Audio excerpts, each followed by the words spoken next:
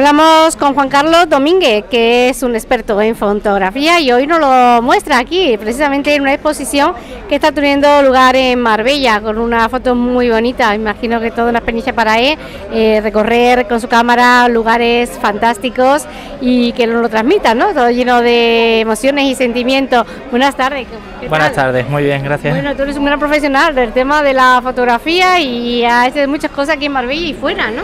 Bueno, sí, llevo 14 años trabajando como fotógrafo y también como videógrafo y hoy, bueno, pues tengo la oportunidad de exponer mi fotografía aquí en la taberna Mata Hambre y bueno, a ver qué tal se da la tarde.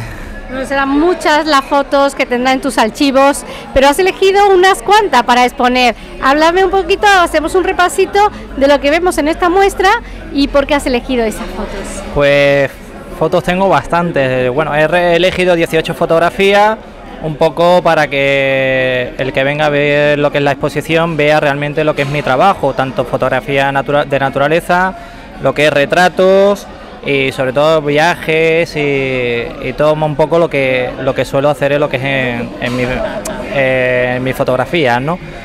Entonces pues eh, lo he dividido un poco, lo que es eh, fotografías de atardeceres, otro de fotografías de retrato, otro un poco de fotografías, un poco de animales y cosas, y después lo que es ah, también lo que son lo que son viajes, no dijéramos, como puede ser Colonia, eh, Cádiz o, Valencia, es lo que he querido más o menos transmitir a lo largo de, esta, de este periodo que llevo trabajando como fotógrafo.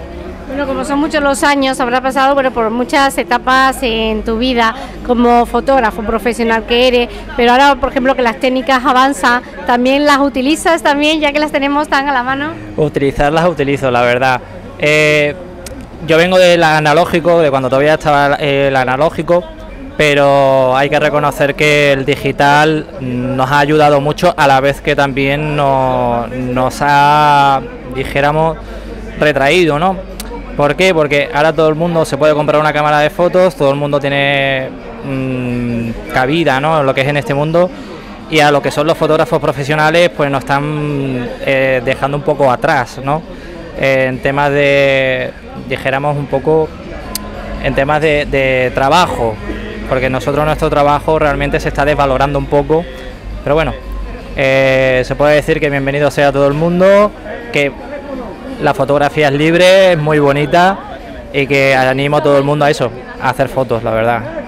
De las que hay expuesta hoy aquí, eh, ¿alguna especialmente que me quieras comentar, que le tengas un especial cariño, porque tenga una anécdota o alguna leyenda ya para ti?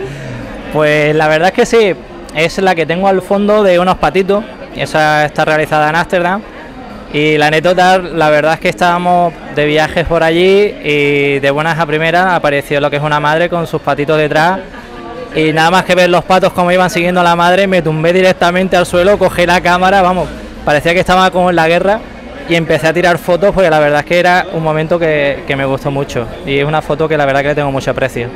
Si hablamos de retrato, es complicado hacer retrato de una persona física y gastar en esa persona pues realmente sus rasgos eh, más profundos.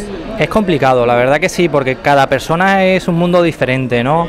Yo siempre intento hablar con esa con la persona que voy a fotografiar antes para conocerla un poco, para no llegar a la hora de hacer el reportaje y hacerlo muy frío, porque si no nos conocemos eh, la persona está cortada, yo estoy igual, entonces siempre intento quedar con ella antes para eso, para, eso, para intentar hablar con ella, conocer sus gustos, eh, ver más o menos qué es lo que quiere hacer, qué, qué gestos tiene, o las anécdotas que ella me quiera decir, oye Pompina, yo prefiero hacer esto, prefiero hacer lo otro, siempre me gusta hacerlo antes. Pues realmente un trabajo muy bonito, enhorabuena. Eh, ¿Hasta cuándo va a estar esta exposición para que quiera venir a verla y bueno, pues recrearse un poquito la vista en ella? Pues la tenemos hasta el día 12 de octubre.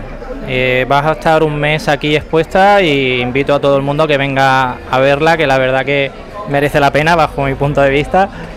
Y también me, bueno, me gustaría decir que aparte de lo que es fotografía y vídeo, también me dedico a dar cursos de fotografía. Por si alguien quiere algún día dar algún curso, eh, solo tiene que localizarme por Facebook, que es Juan Carlos Fotografía, y ya pues ponerse en contacto conmigo y, y estaré encantado de atenderle. Gracias. Muchas gracias a ustedes.